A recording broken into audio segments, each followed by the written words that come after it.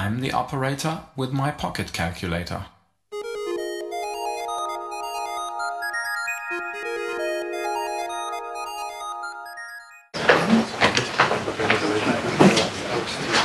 Yeah.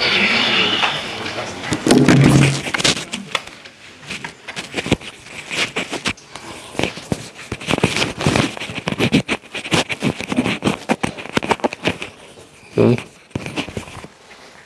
Okay. A couple of you will remember seeing this item last year in Trento. Andrea Celli had this item, this microcalculator, and he showed it, he had on a demo, but he couldn't explain how it exactly worked. Um, there was something wrong with it. He just couldn't make it work. He gave it to me at the end of the Friday. Uh, yes, and I had it for the night. So I spent some time with this device and gave it back the following morning. And now found out how it roughly worked. And I went further uh, to find out uh, what's just behind that. So it looks like a Zippo, like one of those lighters. Uh, you see the, its sizes, and it was by Andrea Celli. Uh, I haven't had this device in my hands since since that just last year in Trento. Okay, you have a brief description in last year's proceedings, but that's it. So it was to wonder how this thing works. If we open it up, we see a little window and we see a lens which is extracted a little bit so that we have a uh, this scale just in focus. We furthermore have an opening on the side and we'll come back to that later. If you look at it from below, we see two thumb wheels. And these two thumb wheels is one which is red, that's not very much good to be seen, but this is red, and the other one, other one is painted black.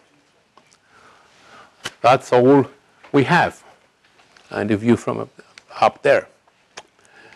If we look through this hole, we see a disk, and we see just there a groove, a notch in here, and uh, this disk moves in here around this central screw. The other side is completely closed. That's all we have. Is this a slide rule? Where does it come from? What is it? Who made it? All those questions you have, and also this is a slide rule. Well, it comes from Italy. It's a heavy piece. Actually, the whole shell was just made of one piece of metal. Heavy yeah, bulletproof. Yeah. So this uh, just uh, gives also already a hint for military use. There are two copies, one owned by Andrea Celli, and the other one once appeared and somebody had it, I suppose it was Dieselkamp, uh, uh, and it's in the Rechnerlexikon, but on those pages, the description is simply utterly wrong. It just records that the thing exists, but that's it. yes, and what I did, I just researched the thing and how does it work and what is it, and how is it used, and that I will record here. You will not find a description in the proceedings. Why? Simply because it just came up with my personal situation. Uh, I couldn't find the time in spring to sit down and write the article. And then I had the other articles uh, coming in, transforming, writing the uh, proceedings, making the book. Uh, the plan is to uh, publish the, this description in the Oughtred, uh, in Journal of the Oughtred Society. So you will find it there. So even if you just start now looking through the pr proceedings, sorry, it's not there. Okay, so let's see what we have. We have patents. We can answer. There are three of them actually: an Italian, a French, a British one, but they are not readable in any way. Um, I think most of you have looked at patents uh, in the past and found out that there is a special language. So if you take, say, English patents, that's not English. It's a kind of patentese. It's a very special talk uh, written, or a special language written by lawyers. Uh, and uh, it's uh, in particular in structure and wording. And if you read them in, uh, in a foreign language, that's even worse, but even Andrea could not make heads and tails of the Italian ones. And he had some other problems there also. So we have at least the patterns, and those do not tell the whole story. Just say two thirds or three, or say 80% of them, uh, but not the whole story. But what we did find there are two names. Uh, are namely Marco Abeglia and Vincenzo Aquilecchia. So, who were there? These were professional soldiers in the Italian army, um, artillery. You see roughly here their, uh, their uh, time of things, of uh, well, birth and death here. You see a similar career, starting around 1912, 1913, a sub-lieutenant in 19, well, accordingly, 1915, 1916, um, uh, making their way through the ranks. And while one actually became brigadier general and teacher at a military academy, and the other one, major general, and he headed a specific uh, lab of the artillery school uh, for computation, and one of them even wrote uh, gunnery tables and uh, uh trigonometric tables for the for the army. Yes, so they knew each other that way, and they produced not only this microcalculator but also another device which was shown last year in Trento. So that's the background, and we even have here a picture of one of them, and that's all I have right now on the biographic uh, side. There is not much more known. Okay, so let's look at the uh, microcalculator. We see here the drawing from the, from the patent. Um, actually, the backside of it is closed, so this does not correspond uh, to uh, the real implementation. We only have that one. This hole here, and it's open. And then we have here some, well, complicated mechanism, which is much, much better explained uh, by this colored uh, drawing by me over here. We have a disk here, that's what we see, with the scales on. So we have this disk with the things. So actually it's the bottom of things. And then we have the black one, and these are turned by the wheels here, and while the wheel also on the, on the side for, uh, for the other wheel accordingly. So we have that one here, turned by the, by the, uh, by the black wheel here. So, and we have this gray body in there, and this is a clutch which works by friction. So, if we turn the red wheel, we move this disc. We rotate this red disc freely. The other disc is not affected. But if we turn the black wheel, uh, there's transmission from the black side via this clinch by uh, some kind of friction mechanism, which is by this conic section here. So we have this moved also the red one. Now, what's the essential trick of the thing? The essential trick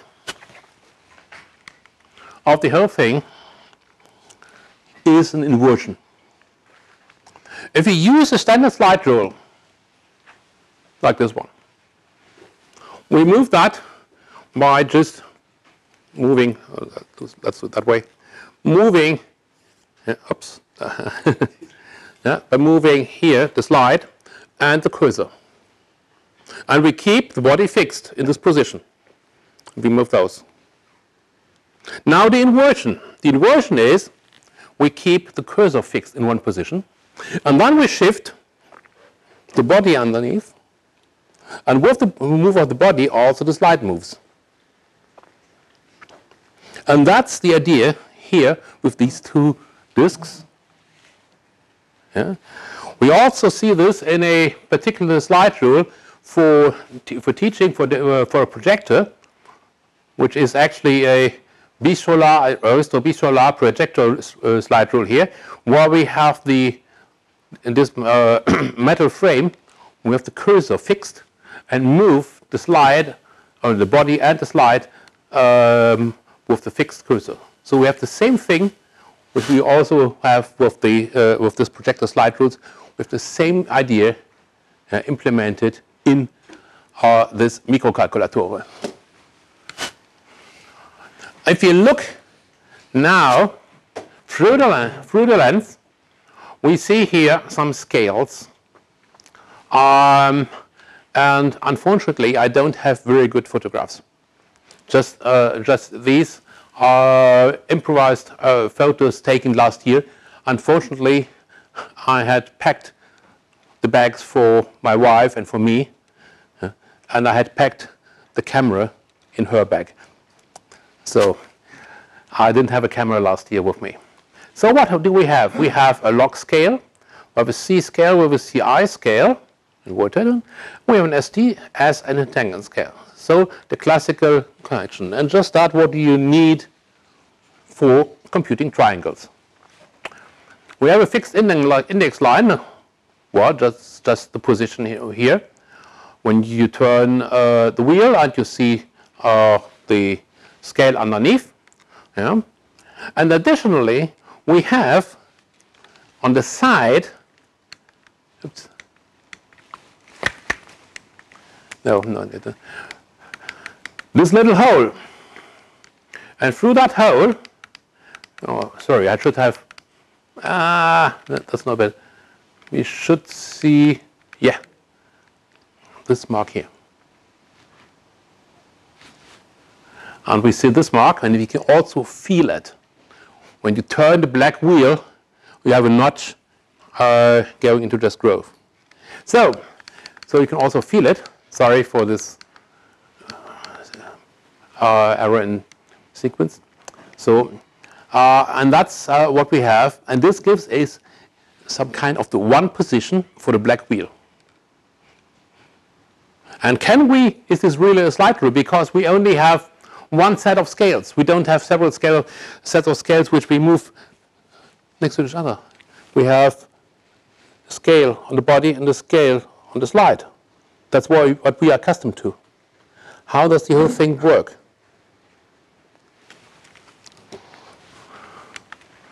Well, I made now a demonstration with a disk, with a gray disk, which is the body, and a yellow disk, which is the slide. So, and the black one is just, well, is the, the gray one is just turned by the black wheel, and the red is the slide with the yellow disk. And the disk position, well, we just see what we have here uh, in the window under the lens, and what we feel with the index mark over here. There's these two marks are a little bit overlaid on there. That's what we see. And now we make two examples. We calculate 2 by 3, very simple. We see, and that's what we see here. We have uh, this little hole, the window, we have this marker, and we have the view here of the yellow disk. And that's what we see in here. This I just use this uh, this form but which simply transforms uh, to the outside uh, of uh, the shape uh, in, uh, in the device. So we first go into the start position. Oh yes, brief questions. Please tell me, if you just close the slide rule and you just have the classical ones standing over another, so what do you call this position in English, please? How do you call this position on the slide rule? Huh? Huh? Initial position. Initial position, In the box position. are you, excuse me? In the box. In the box. or is it something like initial position, start position? What, is there any uh, other, anatom for that? Closed. Closed? Aligned. Aligned, okay. Hmm. I just, I'm just using for, I say, our canon- canonical standard term for this position. I haven't found one yet. Nobody knows really everybody knows it, uh, but uh, nobody could tell me the name for it. Okay. I called it the start position. So, first operation here is return the red wheel and put uh, 2, first factor, first operand, on the C scale. So we turn, this, you see this remains here over here, we turn the red wheel, or red wheel and we have here the 2 standing up there. So that's the disk, first operand. And this 2 corresponds to that segment. Then we use the black wheel and turn the whole thing for getting the 3 on the CI scale on the other one. So we have the 2 and the 3 in the other direction. So this is obviously the number 6. We only have to read it. So we already have to do the result more or less. How do we get it? Well, we turn the red wheel so that we get uh, the CNCI one under the one. Uh, we turn that. So we now have, there's one here, namely from here to there. Here we have one, two, three, four, five, six. Fine. We have the result. Unfortunately, we cannot read it because it's sitting here, but not over there. And that's why we have those little arrows on, um, on that disk to help us minimize the way we just have to uh, turn the black thumb wheel to uh, get over here uh, where the windows are. So you see here part of those uh, this little arrows. So we could do the other way around also, but that would be much more work. What we have to do is just get it done by turning now the black wheel. So on, uh, according to the direction of the arrows, until we get to the point that we can see this mark in the little window and feel its notch. So, and then we can just read our result 6. So even if you have only have one set of scales and a mark for the start position on one of discs, we have a slide rule. Just a bit complicated. Now, the question is, does this also work for something more difficult? I have here a brief summary. We have six, uh, five steps, yeah, and we have everything here now in one picture. Okay, can we do it also for something more complicated?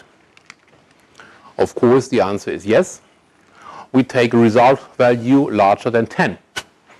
Huh? 4 times 6. So,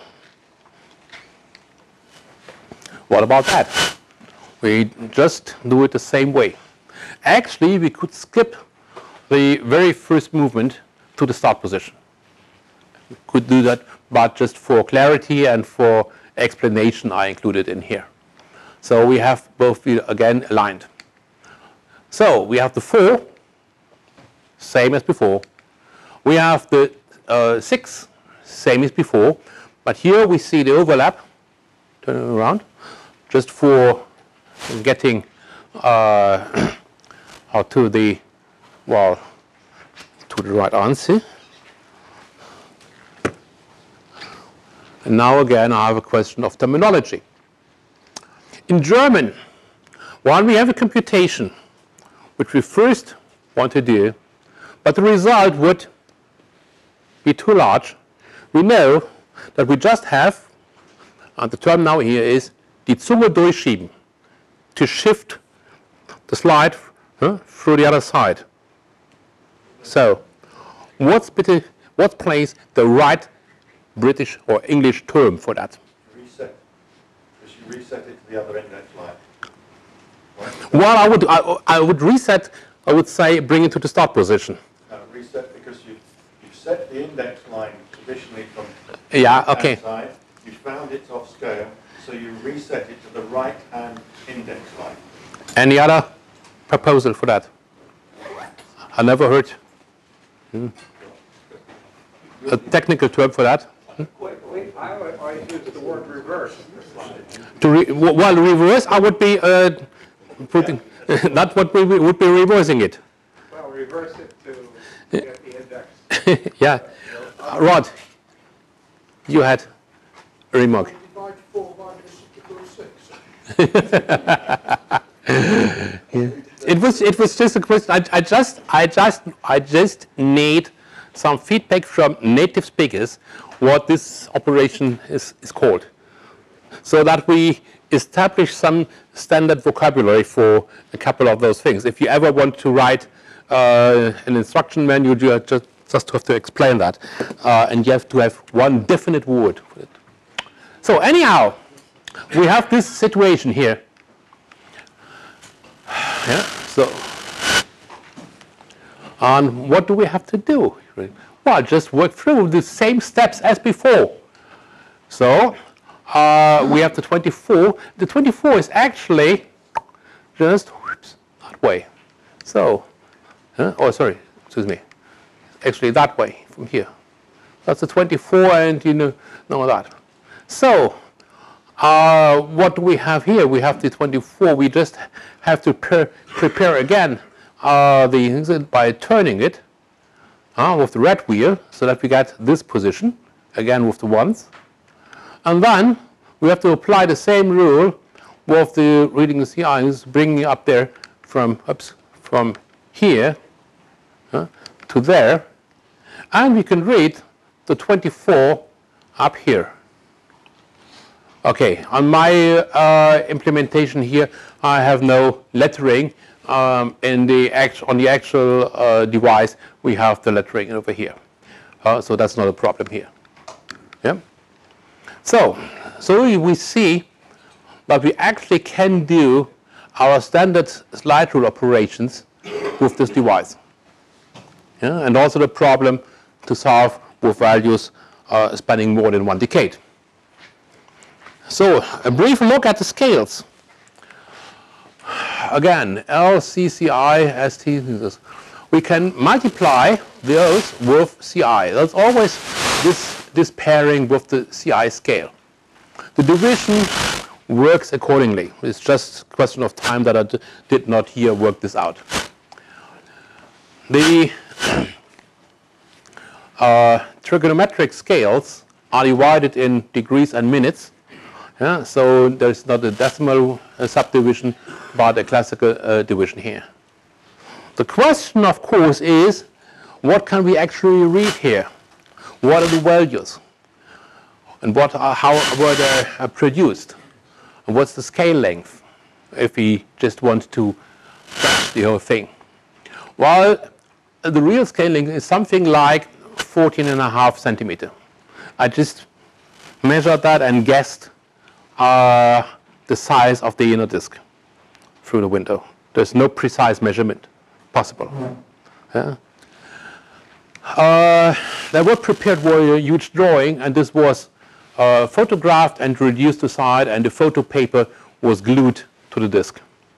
And we see just here the cut. It's not too well done, uh, but uh, uh, that's how it works. And we read the whole thing through the lens. And this is a photograph a friend of Andrea Celli had taken later after we had discussed the whole thing. Um, and he had uh, analyzed a little bit, but uh, without result. And he sent me this photo, and that's all I have. If I make a the question, what kind of resolution do we get here in this uh, area? Just looking at the beginning and, and the end of the C scale, just C and CI scale, yeah, and see what kind of subdivisions I can agree. And I come to a scale resolution readable something like a 40 centimeter scale. Yeah? Just by looking at the subdivisions, what I can read. Um, and looking now here at the whole thing, what did they do? Well, the goal obviously was yeah, to have such a pocket slide rule with a long scale precision. Something which an officer can take along in the field. And it must be robust, military grade pocket device. Well, the thing we've seen there actually was, yes, that was uh, quality bulletproof. Yeah? So, one heavy piece. The success, yes, it worked, if it works. Failure, the handling, if I try to that, was much too complicated. Failure, second, a robust shell is not sufficient. The point is that in the well combat situation in the army, you have dirt, you have the question of temperatures and frictions, and the question of maintenance. If you look at it, we have some screws, you have some items that, but main, maintenance of such a thing yeah, is bad. For instance, the hole to read the index line there on the side, it was just an opening. There was no cover on it. Maybe there was, and it's lost. But there are two possibilities for a military grade device. First is to shield it, really to make it a whole closed thing. Yeah? And that means completely. Or you make it conceptually so simple and so reliable, and that's great engineering. And to give an example of, well, I suppose the largest, um, say, the largest success in military engineering to make such a device is the AK-47. Mr. Kalashnikov constructed a reliable gun which is easy to clean, yeah, which uh, can produce with low precision tools, but yet work. And it's really now 60 years old. It's the most proliferated weapon on the world simply because of his basic engineering to have this reliability. And the point is, it's not achieved here. It's neither, not either one or the other. It's a nice uh, attempt, but no, it doesn't work. It has, furthermore, a high price to build. Uh, it's made out of full block uh, and expensive. And I expect that these are prototypes only. On the side, there are serial numbers. Uh, with two items known, uh, Rechnerlexikon and Celli, uh, with two different uh, serial numbers, high serial numbers. But that's an old trick. If you want to sell to a government agency, you just uh, claim that you have produced so many of them and I just get the next batch. And this has uh, a high serial number. Yeah. Um, so uh, this is not really a clue. Yeah. This is uh, standard fake technique uh, selling to the government. But in the end, even with uh, those failures, uh, is success that it gives me a nice talk here. here. Yes, and that's it. Um, some final thoughts by me. The standard answer is get a better slide rule, which means uh, more precise. Well, make it longer. Yeah, just but the physical length is only one. The question is, what kind of resolution do we get in here? What can we read? And how can we read it? So I think, I think we have to think about more about the ergonomics of slide rules. That's a subject which is not much explored until now. Just the ergonomic, how to use them, how to read them. Read them in various conditions, lightnings, etc. So there is another theme I think uh, to talk about. We always find another interesting item, and it's amazingly, really amazing. Um, well, what kind of different forms and designs and whatever you, you find in slide rules. And um, I'm now here with something like 15 to 18 years uh, that I'm interested in slide rules. Uh, and next day, I'm certain I will find another interesting item which is different from all the others I've seen before. And that's a nice thing for our hobby. okay, so a final view, and that's it.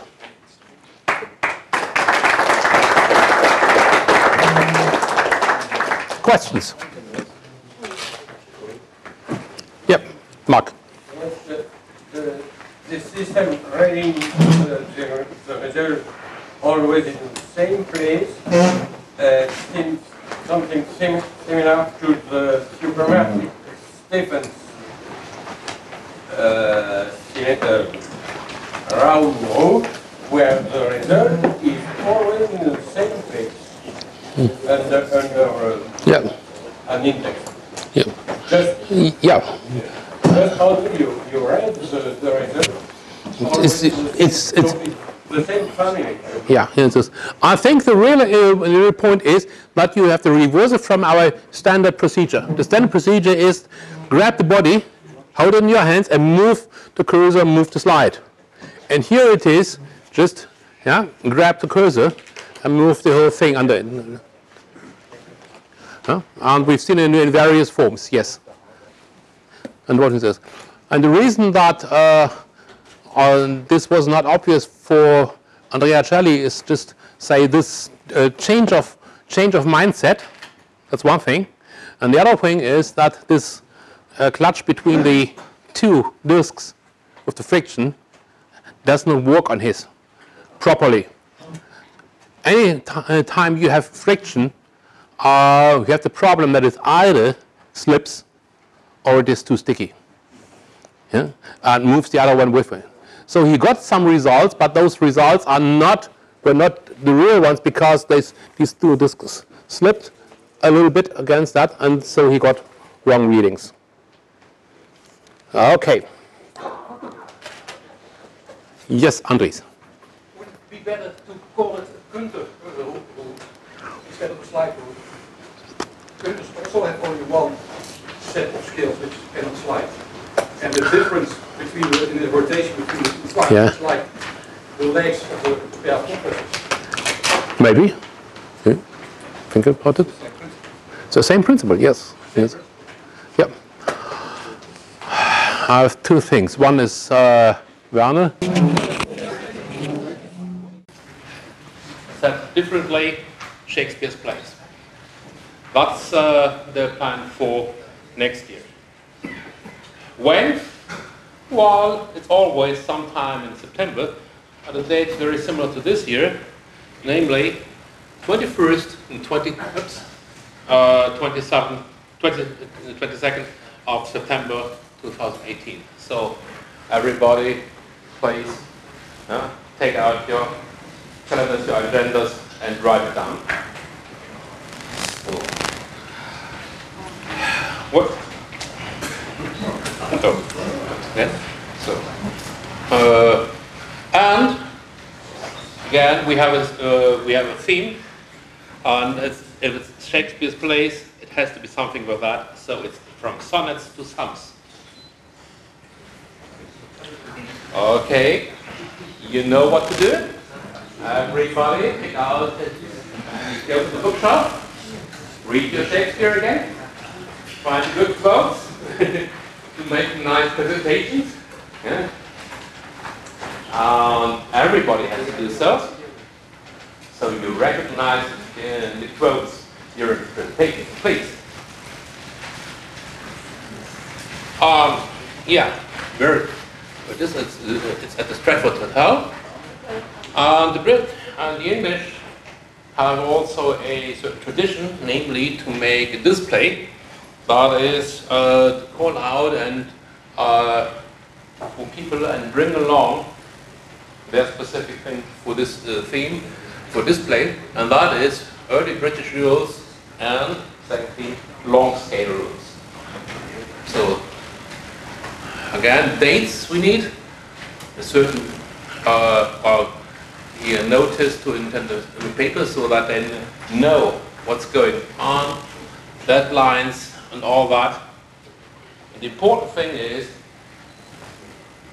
they're really hurried to have those things, everything ready. You can read that all on the website. But first, I have to give a warning or an information. First, there is this place, Stratford upon Avon, uh, south of Birmingham.